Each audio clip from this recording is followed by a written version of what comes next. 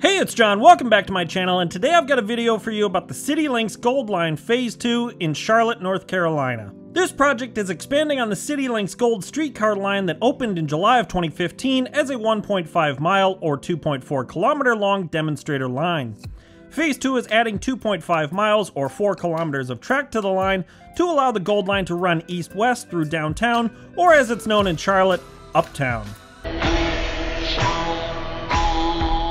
Construction on the line is complete, and pre-revenue testing is currently being carried out ahead of the line's opening in August 2021. A further extension on both ends of the line is expected to be completed as part of a currently unfunded Phase 3. This would bring the Gold Line to a total length of 10 miles or 16 kilometers long, however there is no current schedule for completing these extensions. I'm going to make a video in the future showing the alignment of the Phase 3 extension, so make sure you subscribe to see that. Now without getting too bogged down in the seemingly endless hair-splitting debate over light rail categorization, the Gold Line is a modern streetcar line. This means that the Gold Line is operationally distinct from the other light rail line in Charlotte, which is the Blue Line. The Gold Line will use six Siemens S700 low-floor light rail vehicles that are equipped with batteries to operate on a short section of the line through Uptown that does not have wires. The six new S700 cars that will be used on the Gold Line are approximately 85 feet or 26 meters long, making them slightly shorter than the 96 foot or 29 meter long cars used on the Blue Line. While operationally separate, the Gold and Blue lines are physically connected by a transfer track, which allows the Gold Line cars to operate over the Blue Line tracks to reach the system's two maintenance facilities. These six new S700 cars replace the three vintage style streetcars that originally operated the Gold Line. These streetcars are currently in storage at the main maintenance facility as they are unable to serve the newly raised platforms on the Gold Line's original 1.5 mile alignment. In addition to the blue and gold lines, a third line known as the silver line is currently going through the final planning phases. The silver line is slated to eventually be 29 miles or 47 kilometers in length and have 29 stations. The line will link the towns of Belmont in the west and Indian Trail in the southeast via uptown Charlotte and the Douglas International Airport. The Silver Line is still several years from beginning construction, however, as it is tentatively planned to open in 2037. I'll of course do a video on this line in the future. But for now, let's get into the tour of the CityLynx Gold Line Phase 2.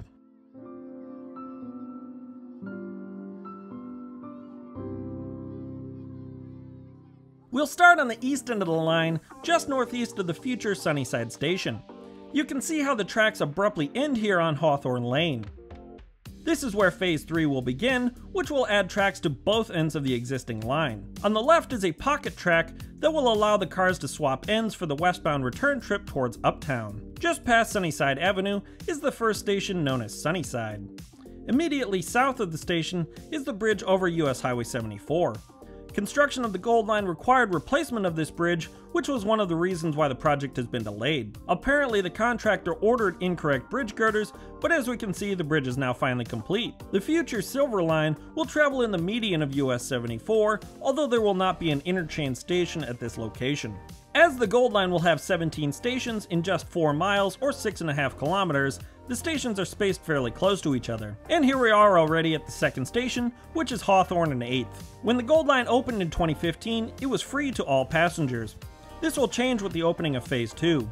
A public meeting will be held August 25th to gather input on the proposed fare increase, or in this case, implementation, so it can be inferred that when the line reopens to passengers, it will initially be free to ride.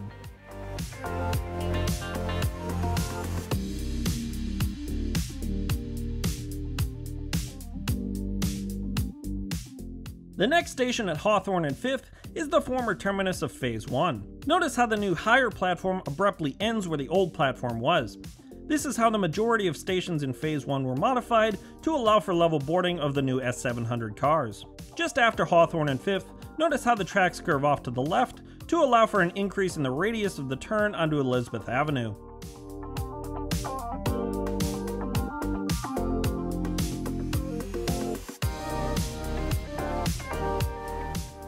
Between this station and the next one at CPCC Central Campus is the longest gap between stations at just under 4 tenths of a mile or 600 meters. You can see how the track slab is in excellent shape as these tracks are only about 7 years old.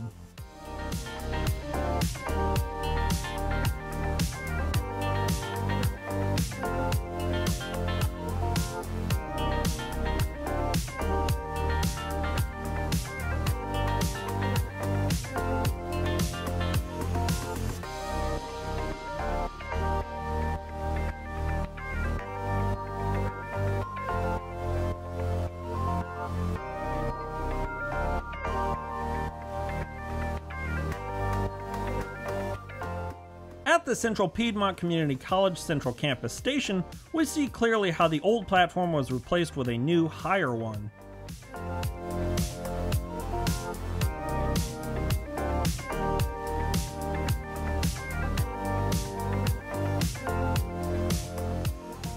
As we pass under the I-277 beltway that encircles Uptown, Elizabeth Street becomes Trade Street.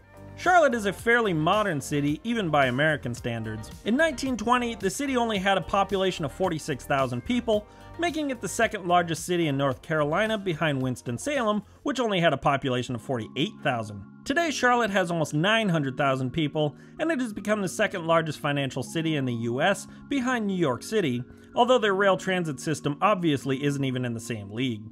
Phase 2 of the CityLynx Gold Line cost $150 million, with half of the cost being covered by the city and the other half being covered by a New Starts grant from the Federal Transit Administration. Construction on the extension began in 2017 and it was scheduled to open in late 2020, however the opening has been delayed by almost a year for various reasons. Service on Phase 1 of the Gold Line was suspended on June 3, 2019, so that Phase 2 could be completed. This was because the original platforms built in Phase 1 had to be raised to meet the floor height of the new Siemens cars. Also, the electrification voltage had to be raised from 650 volts to the standard 750 volts. As we cross Caldwell Street, you can see the interchange track coming off from the right. Later in this video, we'll get to look at this track which loops around the Spectrum Center Arena to connect with the Blue Line. And speaking of the arena, here's the former terminus of Phase 1, known as CTC Arena, reflecting its location adjacent to the main bus terminal. The Charlotte Transportation Center is a huge covered bus station that opened in 1995. While it may not be the most pedestrian friendly station, I can certainly think of a couple other central bus stations in this country that are far less appealing. Back on the tour, notice how the catenary wires terminate at the Blue Line tracks. Throughout Uptown, Gold Line cars will operate on battery power, which simplified construction of the line as well as provided a less cluttered streetscape.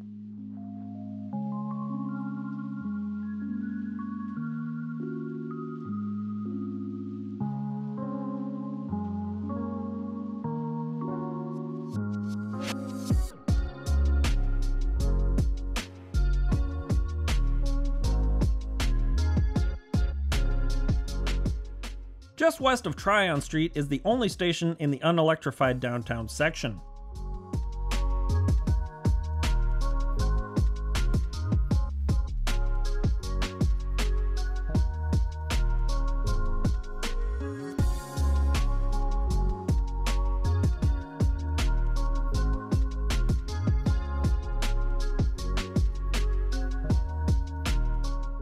Even though we passed the most built up section of the city, Uptown extends all the way to Interstate 77. Just before Mint Street, the catenary wires return. I would imagine the operators will raise and lower the car's pantographs while stopped at the stations at CTC Arena and Mint Street. As we cross Graham Street, take a look off to the left. This is the location of the future Charlotte Gateway Intermodal Station. This station will eventually serve Amtrak, intercity buses, the Silver Line, and the proposed Southeast High Speed Rail Corridor. As you can see, construction of the two new dedicated passenger track bridges and island platform have been completed, and the first level of the station is being built. A third phase of the project remains unfunded, but a larger station building will be constructed above the platform level. This new intermodal station will replace the existing Amtrak station north of Uptown. The existing station was built by the Southern Railroad in 1962, and it is located a mile and a half away from downtown in a fairly industrial and not so pedestrian friendly part of the city. While the existing station is awesome in my opinion, it isn't able to provide the same level of interconnected service that the new Gateway station will provide. Back on the Gold Line tracks, we see the Gold Line station that will service the Gateway station. These bridges we're passing under are the new passenger tracks, followed by the existing three-track Norfolk Southern Main Line.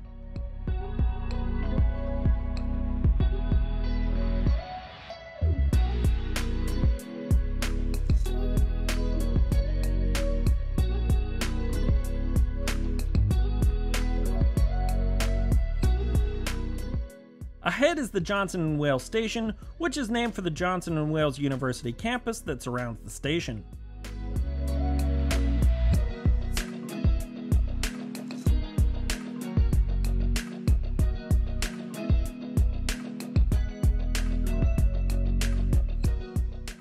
As you see here, this footage was shot in late April 2021, and construction was still being finalized on the line.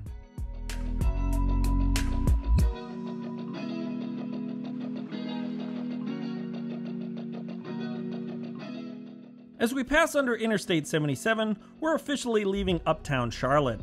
Like almost all urban interstates, the highway creates a significant barrier to growth, and you can see a distinct transition once we cross the Beltway. It's unlikely that the CATS light rail system will convince the majority of Charlotteans to abandon their cars, but the construction of the Blue Line has spurred a lot of transit-oriented development along its north-south corridor. It's likely that more TOD will be built along the Gold Line right of way, as Charlotte is still a rapidly growing city. West of Uptown, Trade Street will become a two-lane road, meaning that car traffic will have to wait on Gold Line trains while they stop at the stations. This is usually done on streetcar lines to slow traffic and create more pedestrian-friendly streets, as well as encourage transit ridership. Rest assured though, Charlotte still has many car-friendly arterials that aren't going anywhere. I must compliment the city though, this streetscape is very nice looking and human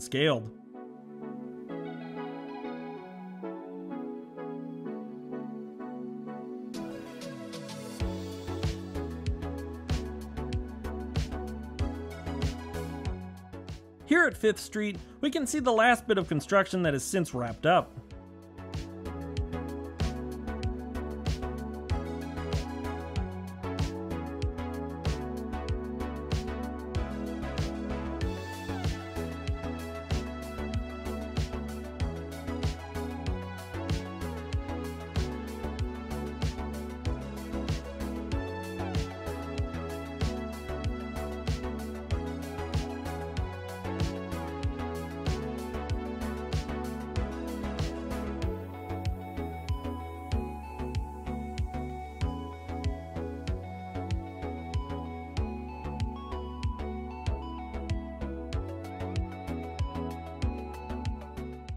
Finally, as we approach French Street, we reach the end of the Phase 2 extension of the CityLynx Gold Line.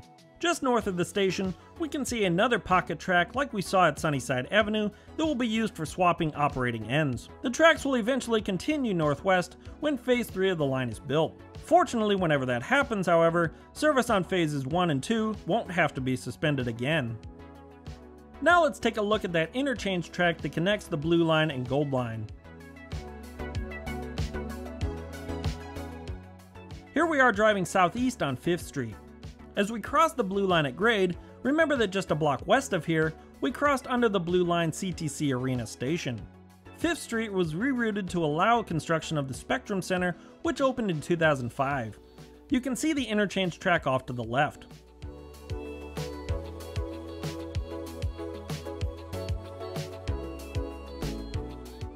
Here the track turns at Caldwell Street to continue towards Trade Street. At Trade Street, there's a switch to allow trains to access both Gold Line tracks. I believe the six cars that will serve the Gold Line are stored at the North Brevard Maintenance Facility, which is the smaller of the two maintenance facilities on the CATS system. Unfortunately, I didn't get any footage of this yard north of Uptown, but I did get a little footage of the larger maintenance facility south of Uptown. And as it's nice to sometimes show footage of actual trains in real construction videos, let's go take a look at that. Here we are above the Blue Line tracks, looking northeast at uptown Charlotte. As we turn to the west, we can see several Siemens S70 cars which are used on the Blue Line.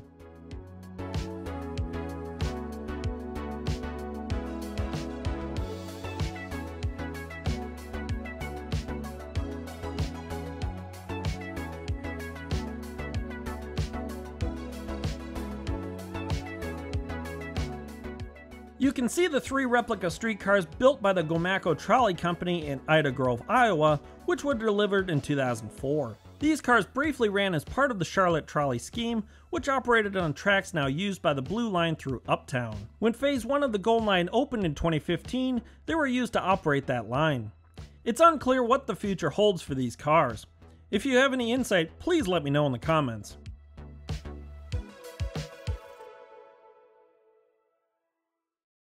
To finish up this tour, we'll swing around the north end of the shops and take a look at more S70s. So thanks a lot for watching this update. While Charlotte's light rail system is small, the Blue Line is one of the best in the country. Even though the Gold Line is a streetcar line operating in mixed traffic, I'm sure it will be equally successful.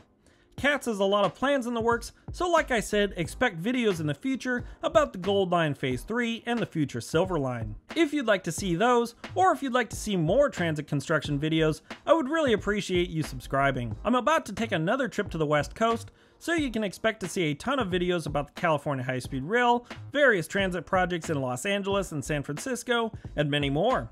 If you want to follow me on social media or Patreon, the links will be in the description, and as always, I will see you all soon.